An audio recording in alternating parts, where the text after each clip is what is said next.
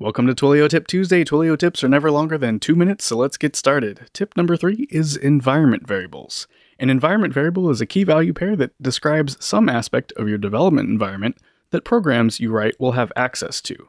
In fact, most programming languages have support for reading and writing environment variables. Perhaps the most well known environment variable is path. Path lets your shell or command prompt on Windows know where the executable files on your system are so that you don't have to type these paths to run common programs. But you can set your own environment variables, often for safely storing credentials. For instance, you might store your Twilio account SID and Twilio auth token in environment variables so that Twilio applications you write have access to them.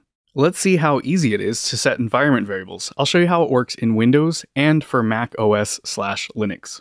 Over in Windows, hit Command R to get a run window and type in sysdm.cpl. Go to the Advanced tab and click on Environment Variables at the bottom.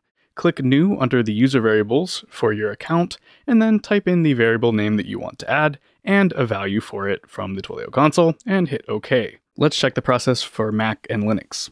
In the Mac or Linux bash terminal, you can use export to set a variable name to its value. Then you can use echo with a dollar sign in front of the variable to output the value. This change won't persist between sessions, so you'll want to add this export statement to your .bashrc file. There's more details about that down in the description below this video. Once you have your credentials saved, you can use them in code. Here is the node code to load the Twilio account SID and Twilio auth token from the environment variables and use them to instantiate a Twilio REST client. Here's a pro tip though, if you follow this naming scheme, you don't even need to access these environment variables directly. You can just instantiate the Twilio REST client, and Twilio will find them with those names.